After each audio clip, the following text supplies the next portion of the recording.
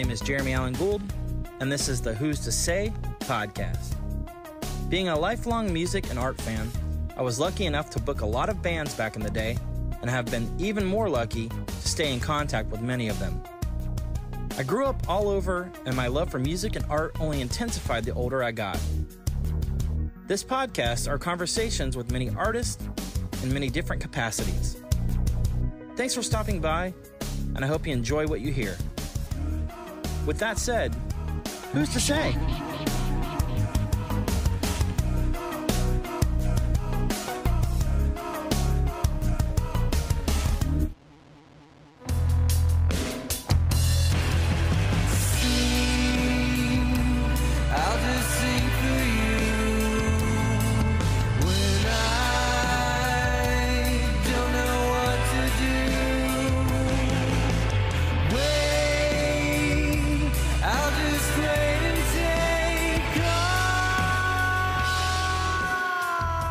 Welcome back. This next episode of the Who's to Say podcast, we welcome the amazing Mark Nicks.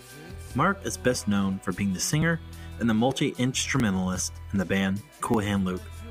I first met Mark when he was playing drums for the chaotic band The Chariot. Mark currently is a father, a pastor, and a therapist in the Orlando, Florida area. I hope you enjoy this conversation with Mark for this next episode. And with that said, Mark Nicks, who's to say? Hey, buddy, how's it going, Mark? Good. How are you doing? Good, man. What's what's new, man? I am literally in between counseling sessions. I'm, among other things, a licensed mental health counselor, and I had a free hour. So, That's awesome. Well, I appreciate you you coming on, and I know we had talked about doing this for a while, so I'm really stoked that you you give me some of your time. yeah, glad to do it. Yeah, man. Well, I just wanted to uh, start with. I just was I was trying to think the other day. I, I kind of catch back up when when we first met. I know I know I think it was the Chariot show when I, that I had booked in Wichita at the skate park. Uh, th- is that the right first time? Yeah, I think so. Yeah. played drums for them. And uh, what what tour was it? Just a chariot tour of? I don't know. Was it a package? I don't remember exactly. Do you We were pr- we were probably in between tours because I know that year we did a pretty long tour with Throwdown and then a really big tour um, supporting Underoath. And at the time, I think it was a headline show that we did when we were with you, and it might have been with the Handshake Murders. Yeah, I think it was. Yeah, Yeah, that sounds about Which- right. which um, was one of the old guitar players from Eso-Charis. Um, which, if people don't know who Eso-Charis is, their singer is now the singer of Norma Jean. Yep. You know, I think Jason, the guitar player, just passed away too. Oh, really? Yes. Yep. Probably about six to eight months ago, something like that. Yeah, I Wow. reached out to Brian, the other guitar player, when it happened. Yeah, I don't know what happened, but yeah, it's yeah, it just kind of was a sudden thing. Hmm. So it's, it's awful. He was a sweetie. he was like one of those gruff sweeties, like you know, Yeah. just total gnarly dude. But he's so he was awesome. So anyway, um, and then so I know I I booked you with Cool Hand with As Cities Burn too. I think. if I'm hmm correct. Yep. At the Eagles Lodge. Was that the only two times? I think.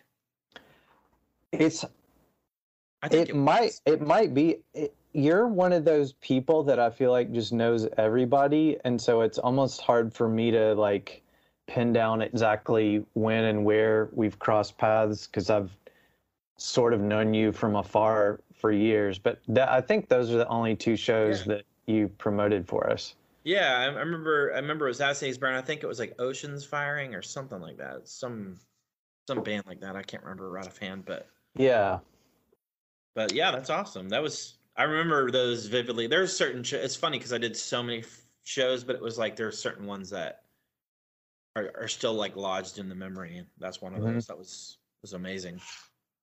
How did that tour go? It was good. It's funny, like, um, m- many of my Cool Hand Luke memories are colored by what I was going through at the time. And I was just like super depressed. Hmm. um, and just had a lot of like personal life stuff going on. Like I think at that time I had like recently broken off an engagement, so that just kind of colored everything for me. So the the tour was good. There were definitely good moments, but even even when I run into like one of the As Cities Burned guys, I feel a little bit embarrassed because that like they probably see me as this super emo dude because I was a pretty emo dude on that on that tour. But yeah, That's awesome. I just ran into Aaron at a Furnace Fest for the other day, so it was nice to see him. yeah, But uh, awesome. Um, so let, let's go back a little bit. I know you've probably done this a, a couple times on um, some podcasts, but just uh, maybe a brief history on kind of how you got into music and and uh, put you on this path.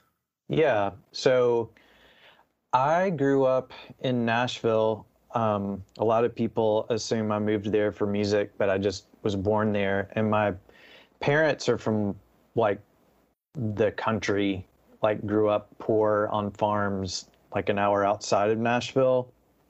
And so I was raised very much like a southern man like hunting and fishing and NASCAR and stuff like that.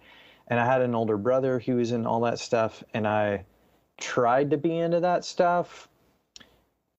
And it never felt like me but I was just like well this is what guys do. And then probably when I was in like sixth grade, I heard Led Zeppelin and I was like, holy crap, that's what I want to do. Um, Yes. so I became obsessed with like Led Zeppelin and particularly John Bonham and drums and started just kind of teaching myself to play drums on like cardboard boxes while listening to cassette tapes of Led Zeppelin. And um, and also uh, my older brother was in marching band. And so every like when i was in middle school every friday night we'd be at high school football games. And i would just like stare at the drum line. And i thought it was the coolest thing ever. And so it became I, so I had kind of like this rock drum thing and then this marching drum thing, and both of them were like that was my world. That's what I wanted to do. And so I ended up working real hard and making the drum line. And it just so happens it was one of the top like drum programs in the nation. So it was like if you stuck with it, you were going to become a good drummer. So I did that all through high school and beginning with college. And then um, my freshman year in college, it was literally, I think, the last week of school. Um, I went to a, well, I thought I was going to hang out with this girl, but it turns out she invited me to this thing that there was like f- literally like 50 people at. And I didn't even like get to talk to this girl, but I got introduced to Brandon and Jason, and they were like, hey man, you want to play drums in a Christian punk band? And I was like, nope. Um, cause I, I didn't grow up with Christian music. Um, and I just thought it was all like, you know, Amy Grant and Michael. W. Smith. Yeah. Stuff like that. And, and frankly, I went through like a punk phase in high school, but it led me more toward like Fugazi and stuff like that. So just the idea of like, you know, MXPX or something like that wasn't that cool to me. Um, but something compelled me to call them a couple weeks later, and they, Brandon and Jason. So uh, Jason played guitar, Brandon played bass. They had played together in like their youth group band and were already best friends and had already decided they were going to start this pop punk band and it was going to be called Cool Hand Luke. And so we played and there was just no discussion of like is this a good fit? Are we going to do this again? You know like what are you thinking? It was just like okay so when can you when can we you know like practice again? And we just kind of hit the ground running. And our first show, we were not ready to play a show, but um, Ghoti Hook was playing kind of like a last minute fill in date at this place right outside of Nashville called Cafe Express. And in our little like teenage minds, we thought they're on Tooth and Nail, so they're huge. And if we open for a band on Tooth and Nail, we'll be huge. and so we only had like four songs, and we had only been a band for like a month, but we booked this show, and it was. I could go into all the details because it's actually really funny, but it was it was a dumpster fire. um, and years later, we were on tour out on the West Coast, and we had played at this place called the Chain Reaction, um, which is a pretty small venue, but it's one of those like iconic, like most indie rock kind of bands end up playing there. And we stayed with um, Rory, who was like the guy at the militia group, and his roommate was the bass player from Ghoti Hook. And we ended up talking to him. We're like, Do you remember that show? And he was like, Oh, yeah, you guys were like the worst band we've ever played with ever.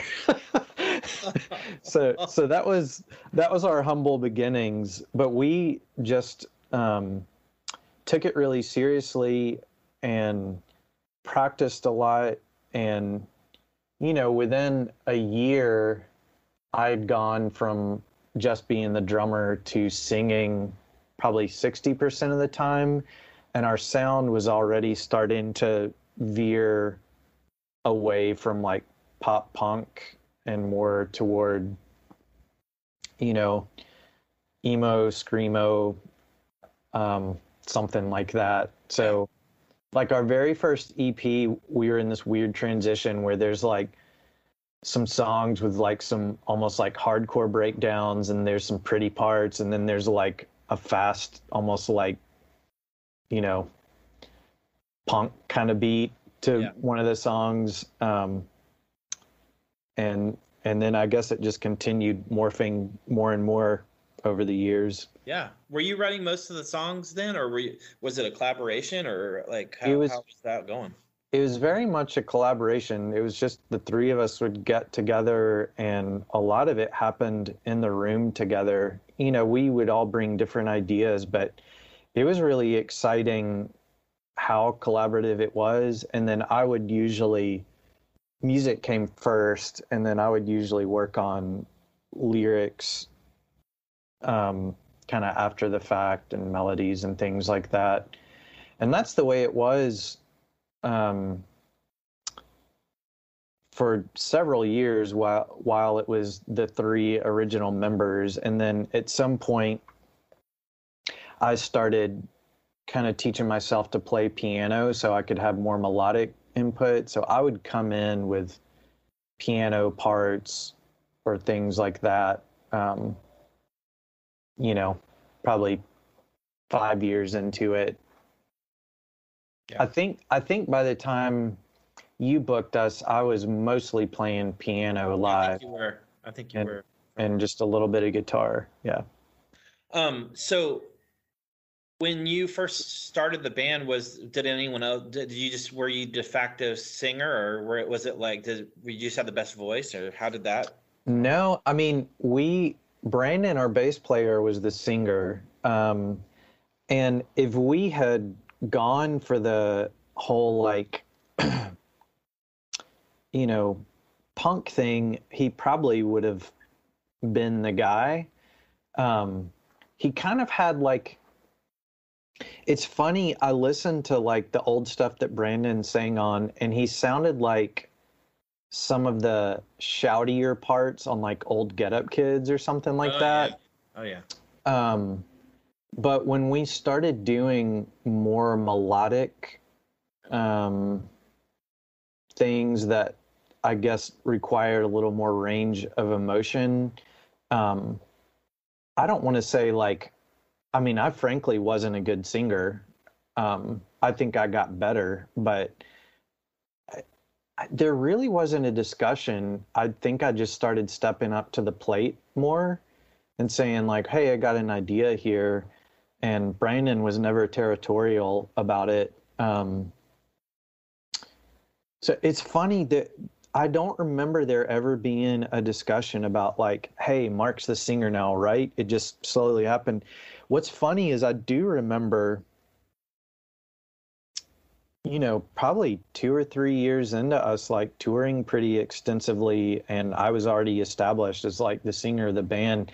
Brandon and Jason, after a practice one day, sitting down and was like, basically like we don't think you're a very good singer and we kind of want to be an instrumental band.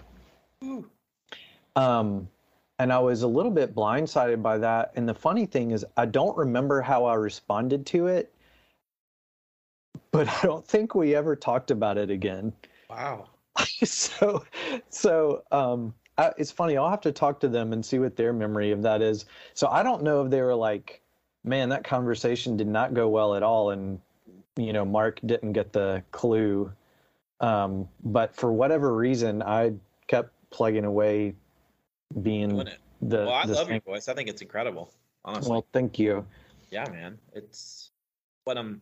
So back on the, or I guess continuing with this. Um, if you, uh, I was, I just asked. I had Eric Collins uh, from Denison on the other day, and I just yeah popped in my head. What what's what's your favorite song you wrote with Cool Hand? Like, what's your favorite record you wrote? Um, just curious. You Hmm. know, kind of the ones that you, if you could. Uh, pick cherry pick the ones. You know, which which ones do you, are you the most proud of? I guess I should say. Yeah, I think I think overall the album that I'm most proud of would be of Man. Um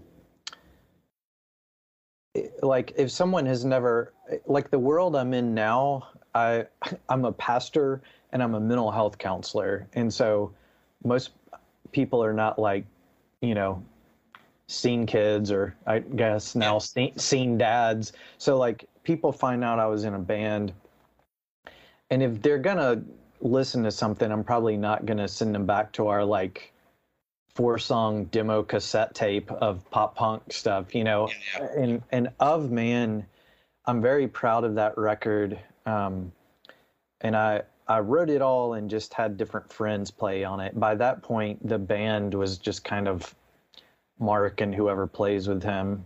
Yeah. Um, so I'm proud of that. Um, I think it has aged well, but the same way tours kind of are colored by like what was going on in my life. Um, I feel that way about records, and there's some records that I think are fans like that maybe don't feel as good to me because I know of like what I was going through or turmoil within the band. But I fought against myself was our first like self-recorded, self-released full length, and it does not sound good. But the songs are so freaking cool, and it it felt like it was the beginning of us like firing on all cylinders. We were working hard. We were playing really well together.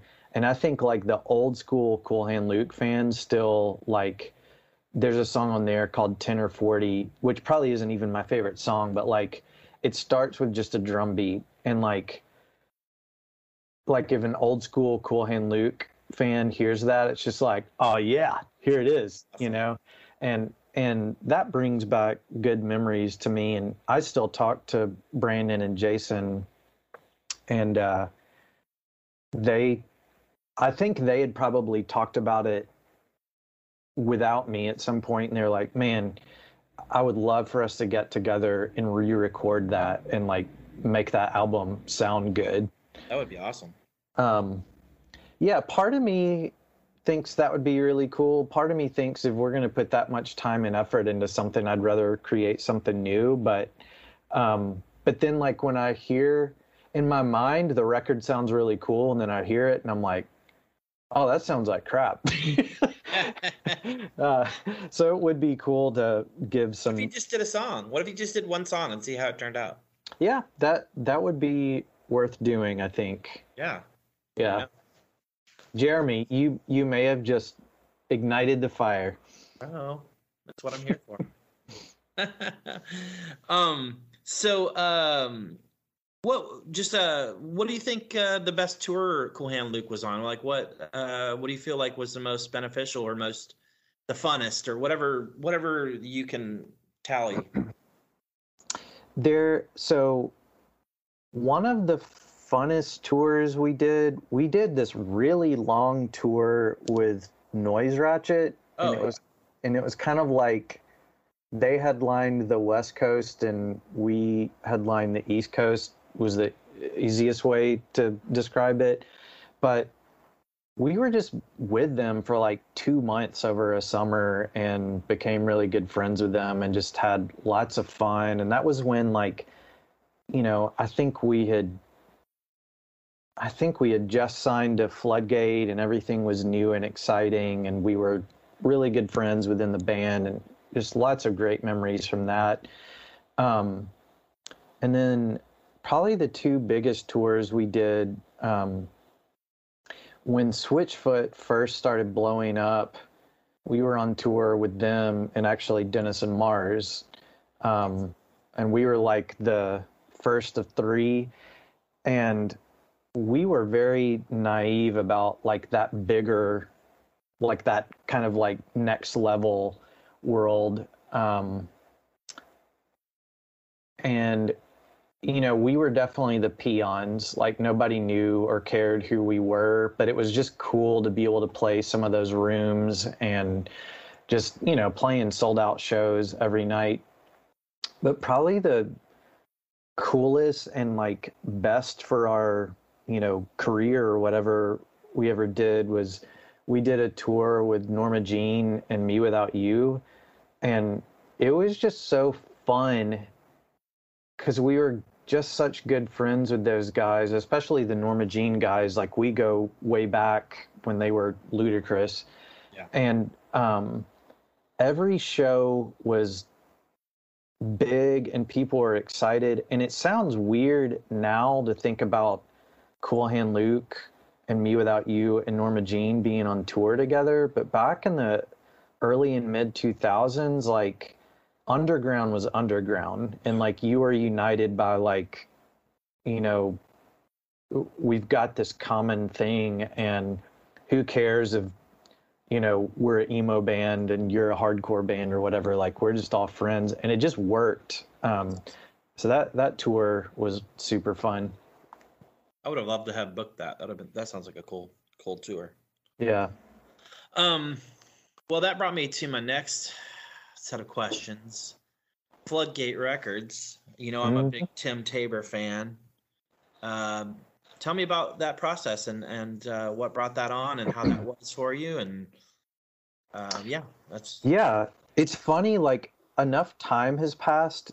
Like I feel like I can tell you things that I've probably never said, like on record before. But we had been talking to Tooth and Nail, and they had sent us contracts. And um, Jason's uncle actually was a lawyer, and so he was really like going after this and he eventually wrote Brandon Ebel an email that said, "If you had an 18 year old son, would you let him sign this contract?" and I think that did not land well with Brandon Ebel. Um, so we, I mean, we are probably in the fourth round of revisions, and we're at that point we're thinking like we're going to sign to tooth and nail, and um, and so I later found out we were blacklisted. Like it was just common, like no, like to all the like, you know, uh, AR guys, like Cool Hand Luke is blacklisted. Like no, nobody try to sign them. Um, but we also had been talking to Atlantic Records, which is really weird because this was around the time that like POD was really big and um, Atlantic and some of the other big labels were starting to like sign some like kind of indie Christian bands and get them to cross over. And um, we actually ended those talks because uh, ironically the guy we were talking to, he asked if I would be willing to start being a front man and stop playing drums live. And we and we were all like punk rock and we're like, we're not we're not selling out, you know, and all this stuff. And then like, you know, just a couple years later, I'm not playing drums live anymore. And you know, but um so we put out a seven inch uh and few people know this, but we did that seven inch because Atlantic wanted to hear some new songs. So we went and recorded two songs and they wanted to sign us based on the merit of those two songs, but we ended up just putting out a seven inch. Then, um, so we were looking for a label that had integrity. Um, there were there were other like, you know, underground Christian labels, but they were kind of not known for putting out high quality stuff and um, I won't name any names, but uh, you know, we were like, yeah, you could do that, and you would have your record in Lifeway or whatever, but y- you know, like uh, not good recordings Yeah, and all that stuff. Um, and I think it was actually um, Aaron from Copeland was telling me about Taber and about um, Floodgate because he was friends with the Denison Marrs guys and was telling us about it. So we started checking that out. And I don't remember how we first talked to Tim, but he was pretty immediately interested. Um, and I think, I think Tim had aspirations for us to be like the next Coldplay or something like that, which we cl- we clearly weren't. But um, like I, I think he had high hopes for us, but we genuinely liked him, and um, I, like I said, I didn't grow up with Christian music, but I had heard of the prayer chain because um, I remember in high school, like just like having friends who were into Christian music. They were like, "Oh, there's this band called the Prayer Chain, and it's like alternative, but they love Jesus," you know. And uh, so when he started asking us who we wanted to record with, you know, we're like shooting for the stars, and we had um, at that time, Sunny Days, The Rising Tide was out, so we were trying to get in with that producer, and I was trying to get in with Ken Andrews from Failure and all this stuff that was like, you know, way out of our league. And he was like, "Well, you know, we always worked with Steve Hindalong. Why don't I see if he can do it?" And Steve Hindalong was right on the heels of making these monumentally huge albums because he wrote God of Wonders and wrote, you know, um, you know these worship songs that were big and was wor- working with all these um, big CCM bands, but his nickname was Indie Hindi. So I th- I think Tim knew like he would go for something that was a little more artsy. So he got us in the studio with Steve Hindalong for our first record and everything it was just like this exciting blur. We went from you know, this band that everything was DIY and we had nothing to all of a sudden we've got a label and we've got a press person and uh you know like we did an album release at Tower Records and there's these massive like album cover things behind us and you know we're like what is this? We're like a real band. That's awesome. um yeah. So Tim was very good to us. Um I wonder if he ever recouped on all the money that he spent uh on us but he was he was very kind to us That's awesome, man. He's he's a great dude. I I admire him quite a bit. Um, just in a, in the band world and just I don't know. I think he's uh, just an incredible person.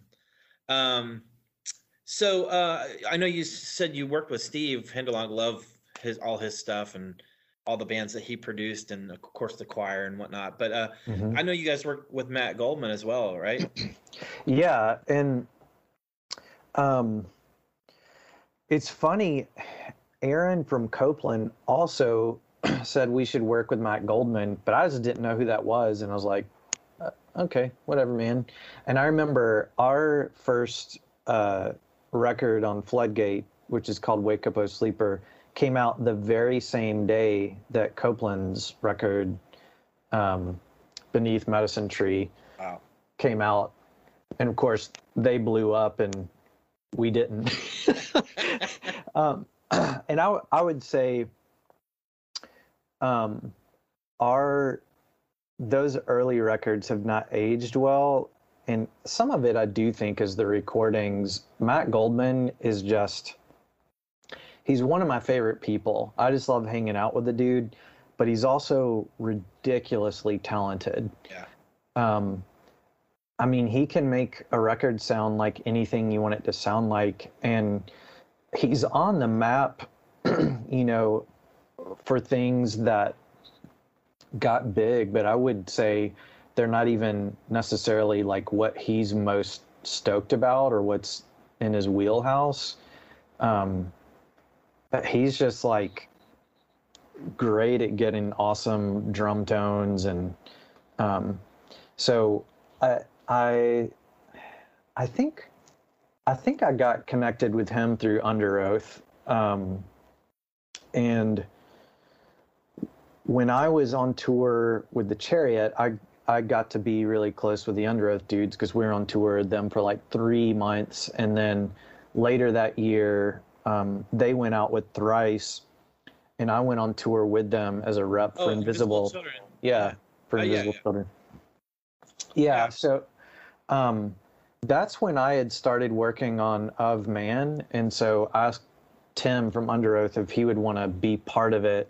So Tim and Casey, who at the time was just doing merch for the Chariot, Casey McBride, like I wrote a song with them, and we had a break, I think, in Atlanta, and we just went to Goldman's for a day and recorded this song, which ended up becoming kind of the centerpiece of the Of Man album. And that was the first time I worked with Matt, and I think we hit it off just relationally. I Matt's one of those people. He doesn't give anybody compliments, so I never knew if he liked my band or not. Like, Yeah.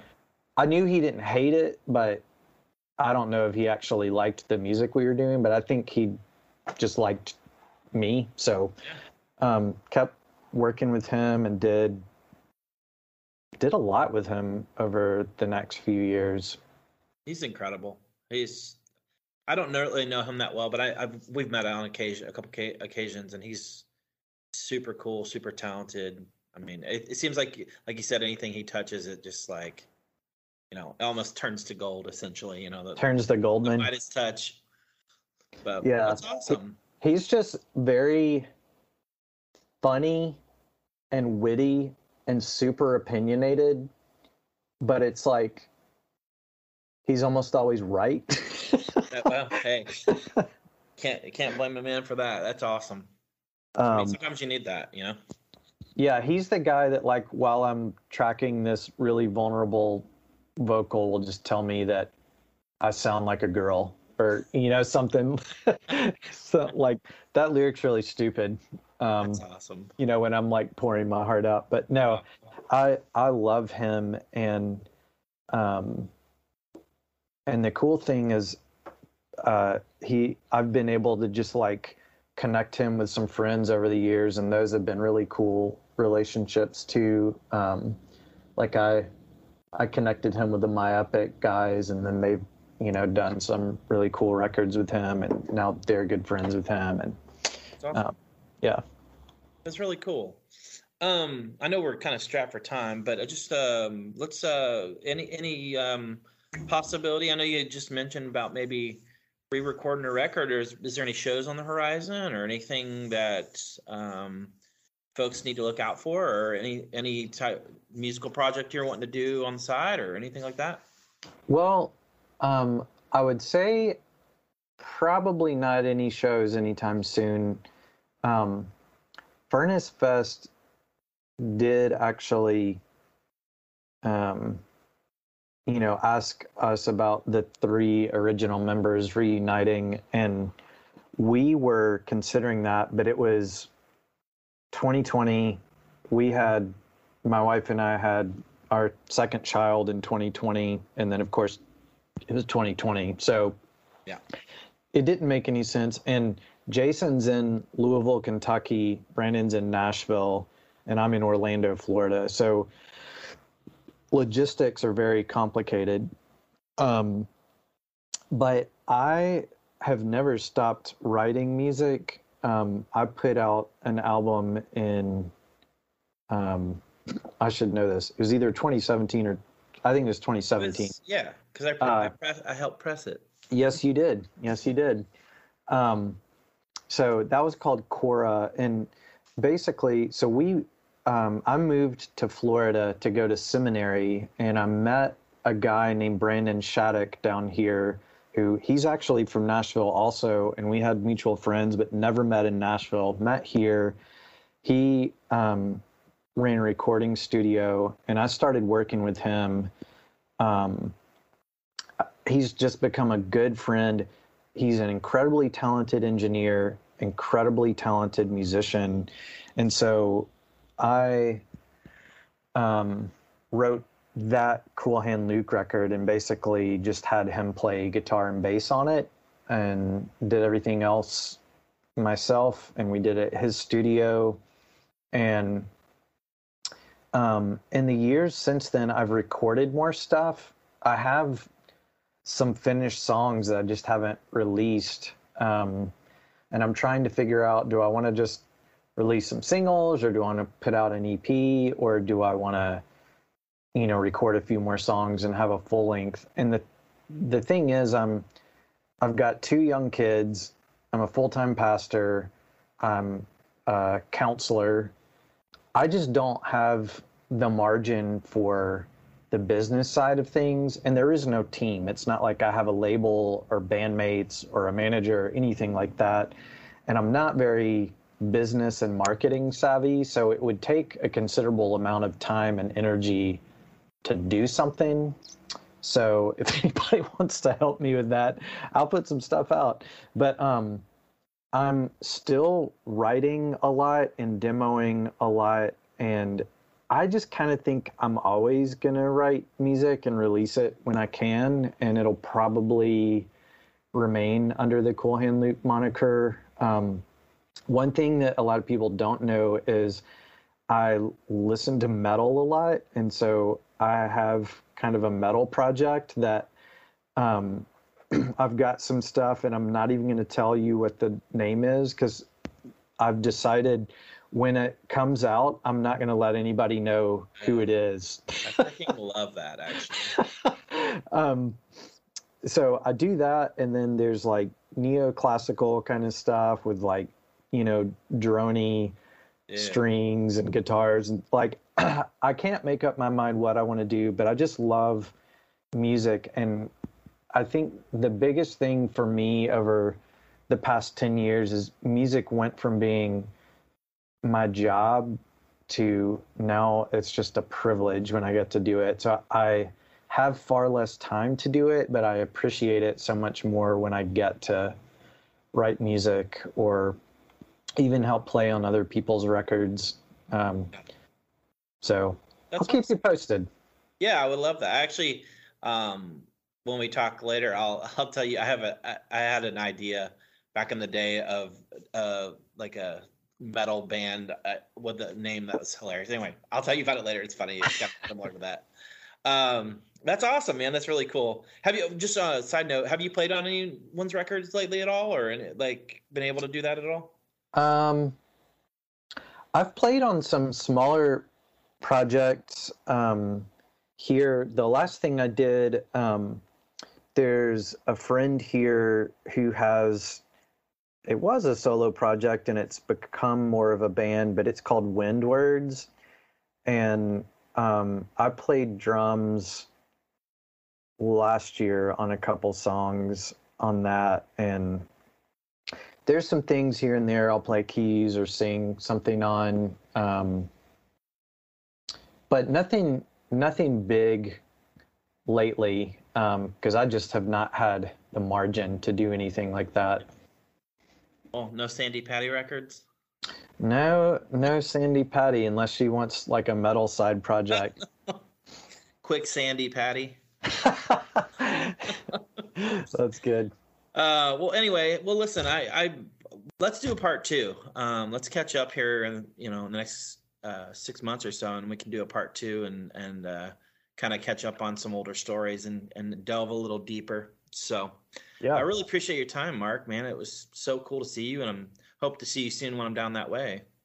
Yeah, I um like I said, not many people in my world now know me from the Cool Hand Luke days and it the fact that anyone still cares just means a lot to me. So it's kind of fun to go back and think about those days and be able to talk about, you know, the music and the memories and all that stuff. Well, cool. Thanks so much, Mark. I really appreciate your time, dude. Yeah, we'll talk soon. All right, man. I'll talk to you soon. All right, Bye bye. bye. I'd like to thank you for listening to this episode of the Who's to Say podcast with the incredible Mark Nicks of the band Cool Hand Luke. I'd also like to thank Mark for taking the time to have this conversation in the midst of his busy, busy schedule. The links of Mark's bands will be in the show notes below. The next episode will be a blast from the 90s emo past. With that said, who's to say?